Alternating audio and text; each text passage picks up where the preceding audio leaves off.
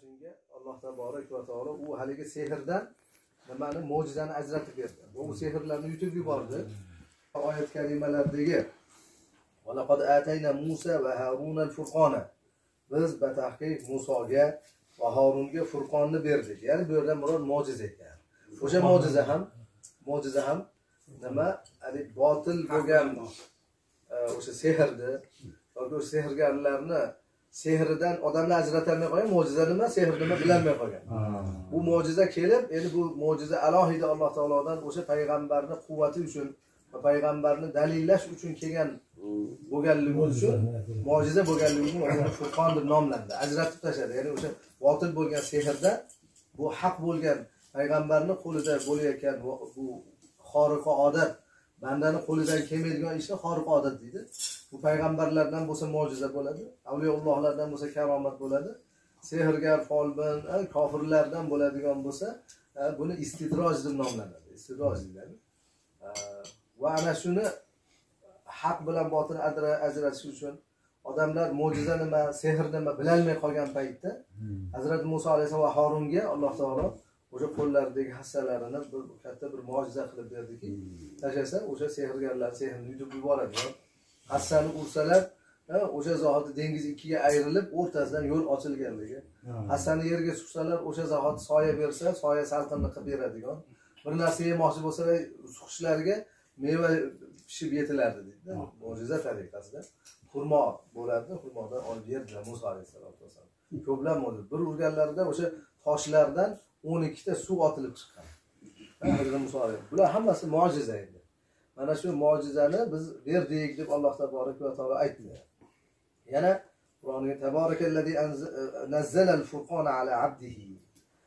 o'z bandasi muhammad mustafa sollallohu alayhi vasallamga furqonni nozil qilgan alloh taolo taboraklik buyuklik buyuk bo'ldi.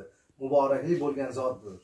Ya'ni alloh taolo shunday muborakli zotki ya'ni o'zini bandasi muhammad mustafa sollallohu alayhi vasallamga furqonni nomi furqon demak furqon ham qur'oni karim ham haq bilan botilni o'rtasini ajratib endi bu yerdagi yuqoridagi oyati furqondan murod tavrot nafsi o'zi deydilar. Atf tafsir degan qoida bor deydi. Atf tafsir o'shana kitob va furqon desa ikkalasi ham bitta narsa. Ya'ni atf tafsir deyiladi keyin kelayotgani atf bilan kelayotgani o'sha avvalgisini tafsirlab berdi. Kitob nima edi desa haq bilan botilni o'rtasidagi tavrot kitobi edi degan o'shani bildirib bergani keladigan alohida bu qoidada keladi endi.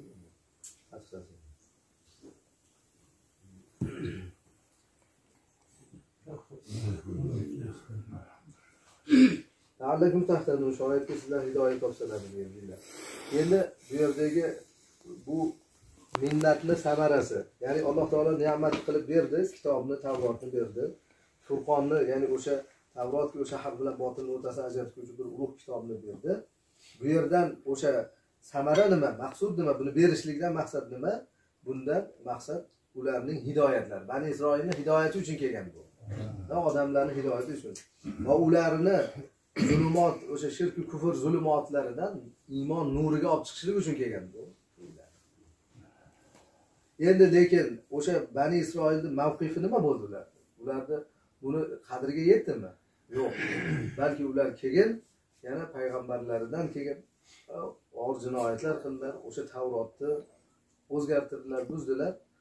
Mana shunday bir shakkokli yomon gunohli ishlarga o'tdilar. Hattoki keyingi nabiy payg'ambarlarni o'ldirishgacha borishdi hazrati iso alayhissalomni ham o'ldirib yuboramiz qasd qildida hazrati iso alayhissalom buyuk payg'ambar edilar ulug' mo'jiza tariqasida kelgan ya'ni otasiz dunyoga kelgan onani o'zida alloh taolo vujudga keltirgan o'zini ruhi bilan kalimasi bilan bizlarga ato qilgan alloh taborak va taolo. Endi bu hazrati iso alayhissalotu vassalamni hazrat jabroil alayhissalotu vassalam odam suratida kelib turib o'shanda puf deb o'shanga bir dam urganlarida alloh taoloni ilohiy mo'jizasi bilan onani qornida o'sha homila buni dunyoga keltirganlar. Endi bular hozir nima deydi? Endi bu yahudlar o'sha hazrati iso alayhissalom buyuk payg'ambarni e, zinodan topgan u zinodan topilgan bolani shular bular ulug'laydi deydi. Hmm. Va hazrat bibi maryam onamizni ham zinokor deb ayblaydi hmm. bunday emas. Jannatda nomlari eng baland darajadagi nomlari ulug' onalarimizdan sanoqli bo'lsalar bittalari maryam onamiz osiyo onamiz hadicha onamiz hazrati bibi fotima roziyallohu anhu e, onalarimiz jannatdagi eng oliy darajadagi zotlar bo'lsalar shulardan bittalari hazrat maryam onamiz payg'ambarimiz sallallohu alayhi vasallam huzurlariga jabroil alayhissalom kelib o'sha hadisha onamizga salom yo'lladi olloh degan ekan olloh hadisha onamizga salom yo'lladi. Hadisha onamiz tashqarida ekanlar bu hadishami ha hadisha olloh salom yo'lladi bu hadishaga va jannatda bir qasr va'da qildik. Va bir tomonida o'sha osiyo onani qasrlari ikkinchi maryam onamizni qasri shularni o'rtasida shunaqangi durdan bo'lgan bir qasrni alloh taolo va'da qildi. Ketganlaridan keyin aytgan ekanlar sizga alloh taolo salom yo'llabdi Qarang. javoblari nima bo'lgan? Allohumma antassalam ey olloh san salom zotsan va minkassalam salomatlik tinchlik. Oxiratdagi azobdan qutulib jannatga kirishlik salomatligi sandandir va barcha salom ham sani huzuringga qaytguchidir. Hayyina bisalam masalan bizlarni salomatlik bilan tiriltirgin parvardig'im bizlarni o'sha salom dori hovlisi bo'lgan jannatingga parvardigor kirgizgin deb duo qildik. biz mana namozimizdan keyin allohumma antasalam shu hadisha onamizni alloh taoloni salomiga aytgan javoblari bo'lgan chiroyli javobni shuning uchun javob sunnat qilib berdi masalan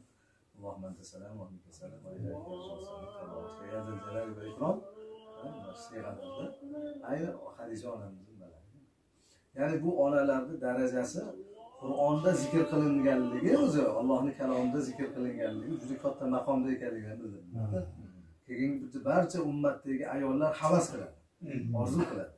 Shunday ulug' darajadagi onalarimizni nimalardan hayotlaridan o'rnak olib orzu qiladi. O'sha ilohiy kitoblarni ham tushun furqon ham deb ham zikr qilinar ekan ular yani. o'sha haramdan to'g'ridan to'g'ri e, nima qilinibdida olinibdi nimalarni asli shu qo'qondan shu tomondan borgan bobolar shunaqa ekan. U nihoyatda katta olim ekanlar hozir. O'zbek tilini yaxshi tushunar ekanlar.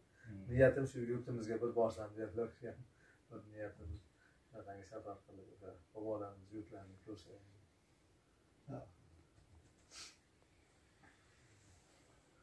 yaxshi xizmatlar qilishgan. Qayerga borishlar ham nihoyatda yaxshi. Nimalardir الحمد لله الحمد لله الذي اطعمنا وسقانا امانه وجعلنا من المسلمين الذين هداهم ولا تنقص اللهم بارك لنا وبارك لنا فيما رزقتنا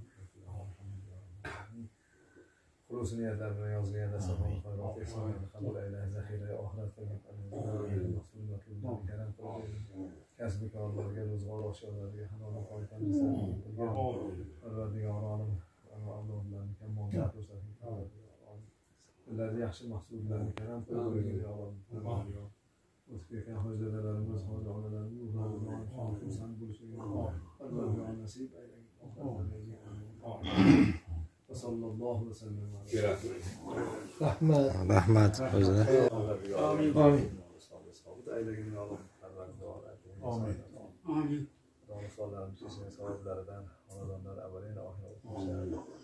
Rasulullah